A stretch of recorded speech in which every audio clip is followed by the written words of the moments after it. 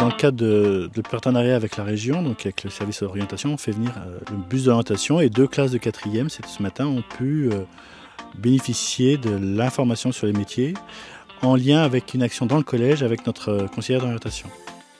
L'objectif de la région, c'était d'emmener euh, une information à l'ensemble des jeunes de toute la région et de faire en sorte que sur les territoires ruraux également, euh, les jeunes puissent avoir cette information, cette information sur, euh, sur les métiers. C'est vrai que souvent les, jeunes se tournent vers les métiers qu'ils connaissent et l'objectif c'est aussi de leur faire découvrir des métiers que peut-être ils ne connaissent pas mais qui sont en tension et qui recrutent.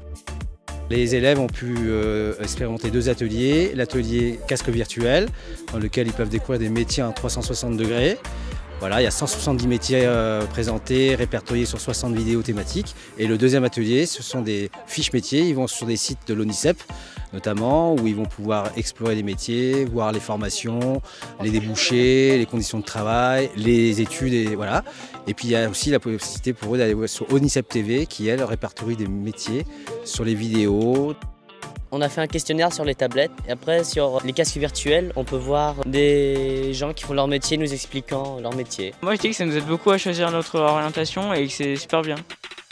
C'est vrai que l'orientation est un, est un souci, est un, et en tout cas est, source de, bah, de réflexion. Et là, là ici, ce bus apporte des réponses et des réponses innovantes et quelque chose de pas vu.